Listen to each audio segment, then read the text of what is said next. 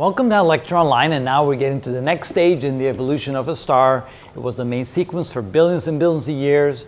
Finally, the hydrogen fusion into helium stopped in the core. The core began to collapse. The additional heat began to fuse, be, uh, gave enough heat to the layers around the core. For that, for those layers, it's called the shell around the core. For that shell to begin to burn hydrogen into helium or to convert hydrogen into helium. That additional heat began to expand the star into a larger and larger star. Temperatures in the core continued to go up because the collapse of the core continued to drive that gravitational potential energy into heat. And so that was a subgiant stage. And then what happened was eventually the core collapse was halted. Something stopped the relentless pushing of the gravitational force, pushing the core ever into a smaller, smaller volume. But at some point, something happened the electrons within that core, because it's filled with helium, but there's, for every helium nucleus, there, is, there are two electrons, and all those free-floating electrons between the helium nuclei began to repel each other more and more, more and more strongly, because as they get closer and closer together, the repulsive force between the electrons began to grow. Electrons, they exist as waves, they create their own little volume sphere within the, the particular region within the core. And when those spheres begin to interfere with each other, when they begin to overlap, the electrons really begin to push back. They don't want to be that close together. And though the repulsive force of the electrons begins to become extremely strong to the point where gravity could no longer push the core any closer or any into a, a more denser environment, and the electrons pushed back to the point where that became balanced. And that's what we call the electron degeneracy. The electron degeneracy is those electric, electric repulsive force between the electrons that halted any further collapse of the core. At that point, the core would have reached the density of 10 to the 8 kilograms per cubic meter. 10 to the 8, that's 100 million. 100 million kilograms or 200 million pounds per cubic meter. That is about 10,000 times the density of, and I forgot a letter there, of lead. So, core is extremely dense.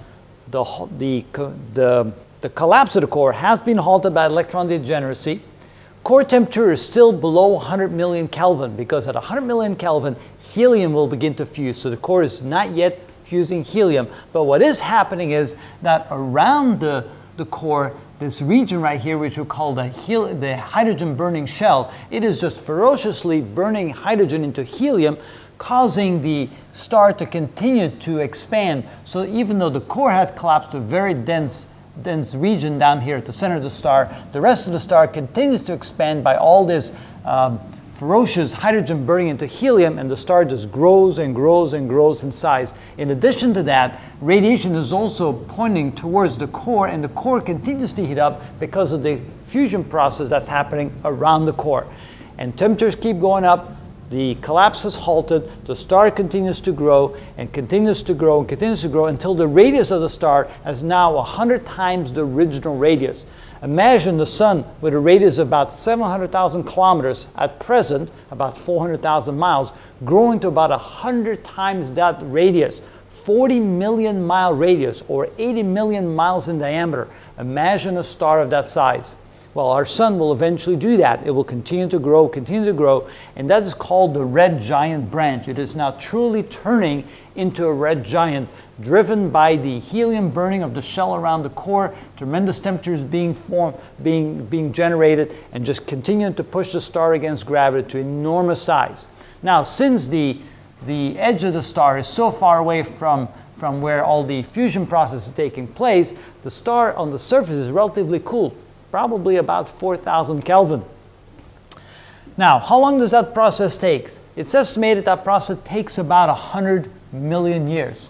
We can come up with that estimate based upon looking at these stars as we, as we draw them on the HR diagram from these big clusters. The big clusters gives us a really good sense of how long these various processes take by the number of stars that you can find in each stage from a cluster. So yes, we know that it takes about 100 million years for a star to go from the main sequence all the way up to becoming a red giant. But it's not yet truly a red giant in the sense that in the core, the nuclear fusion process hasn't restarted to the next stage yet. So the, the collapse is, is halted by electron degeneracy and the temperature continues to climb towards 100 million Kelvin. At 100 million Kelvin, the star becomes a different star. Now the nuclear fusion process will re-engage in the core, burning helium into carbon. But that hasn't happened yet. That is yet to come when the next stage happens. So now we're in stage nine of the star where we're creeping up on the red giant branch. Notice the luminosity of the star is increasing by tremendous amounts, not because the edge of the star is getting warmer, but simply because the size of the star grows tremendously.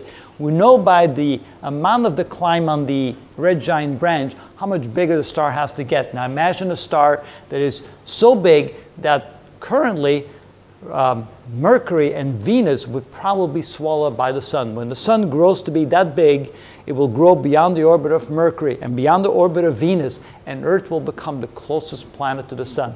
What will happen to Mercury and Venus?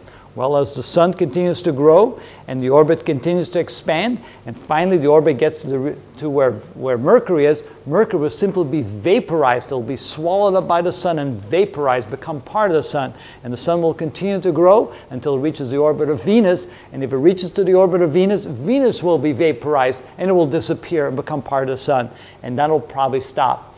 And then if you would, were able to stand on the surface of the earth looking up at the sun, Five billion years from now, a quarter of the sky would be taken up by the sun. It would be huge in size, of course. At that point, the temperatures on the Earth, the surface of the Earth would be so enormous that the oceans would boil away and there would not be a, a shred of living material left on the Earth. It would simply be burned and, and incinerated to the point where there'd be nothing living left on the Earth.